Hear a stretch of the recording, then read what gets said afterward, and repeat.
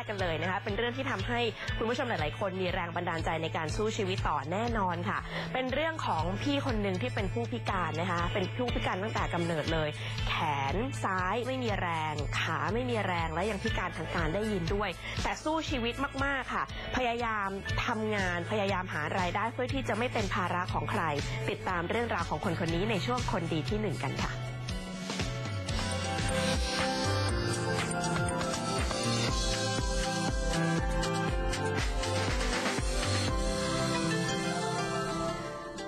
สุดยอดนักสู้ที่ดิฉันพูดถึงนะคะคือพี่คนนี้ค่ะ พี่กอล์ฟ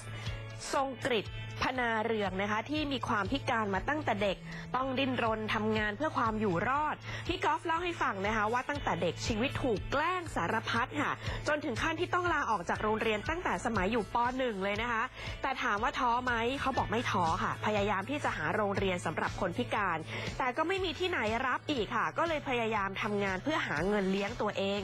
ทำมาหลายอาชีพแล้วนะคะ ไม่ว่าจะเป็นเก็บของเก่าขาย ขายผลไม้ ขายของเล่นหรือแม้กระทั่งขายชุดชั้นใน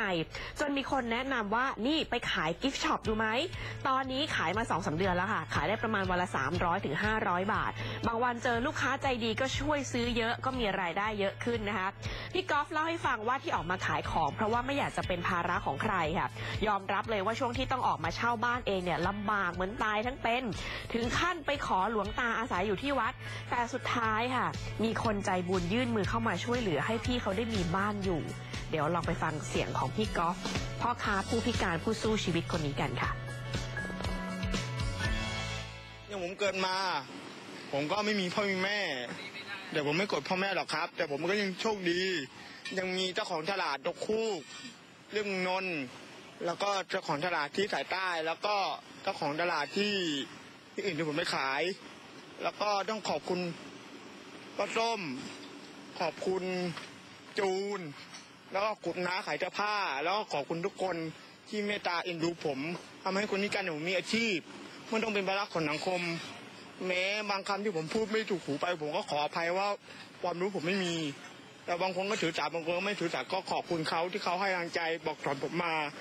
ซึ่งผมฮะทำให้ผมมีแรงใจต่อสู้กับชีวิต พี่กอล์ฟยังบอกด้วยนะคะว่าตลอดระยะเวลาที่ทำมาหากินเนี่ยโดนโกงนับครั้งไม่ถ้วนค่ะ เพราะว่าพี่เขาไม่ได้เรียนหนังสือก็เลยไม่สามารถอ่านหรือว่าเขียนได้ เวลาไปซื้อของก็ต้องใช้วิธีการจำตัวอักษรแทนการอ่านโหเก่งจริงนะคะแต่ว่าในความโชคร้ายก็ยังมีความโชคดีค่ะ มีคนคอยช่วยเหลือ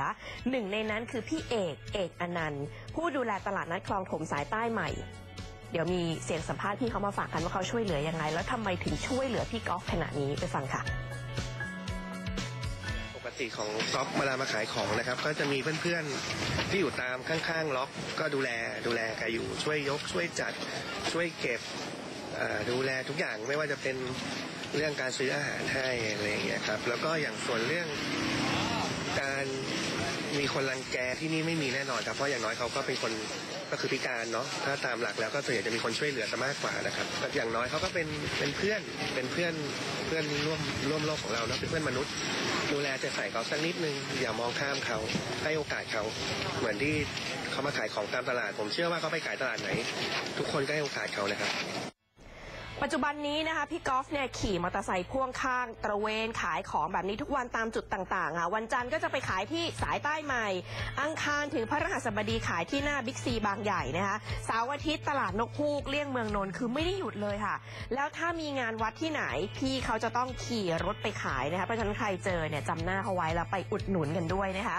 ทีนี้พี่กอล์ฟฝากกับทีมข่าวของเราว่าตอนนี้เนี่ยอยากจะได้รถวีลแชร์ที่มีน้ำหนักเบา เพราะว่าคันเดิมที่ใช้อยู่เนี่ยมันหนักมากค่ะ เวลาจะยกขึ้นลงเนี่ยลำบาก ถ้าหน่วยงานไหนหรือคุณผู้ชมคนไหนชมอยู่แล้วอยากจะช่วยเหลือพี่กอล์ฟนะคะ ประสานไปได้ที่หมายเลขนี้ค่ะ โทรไปหาเลยพี่กอล์ฟกิฟช็อป0873435667 หรือติดต่อมาที่แฟนเพจ Facebook ของเราเรื่องดีๆ TNN นะคะรวมไปถึงใครเห็นแล้วเออพอจะมีงานที่เกี่ยวกับผู้พิการที่คุณกอล์ฟเนี่ยน่าจะสามารถทำได้ ก็แนะนำหรือติดต่อผ่านรายการของเรามาได้เลย เราขอเป็นสื่อกลางเพื่อช่วยเหลือคนที่สู้ชีวิตแบบนี้นะคะ